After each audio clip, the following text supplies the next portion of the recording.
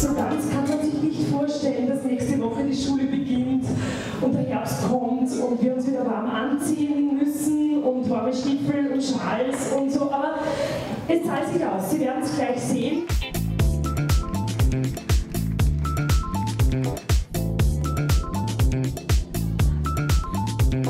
Also es wird bunt, das sind die Kleider. An den Schuhen dürfen es natürlich super viel Schuhe sein.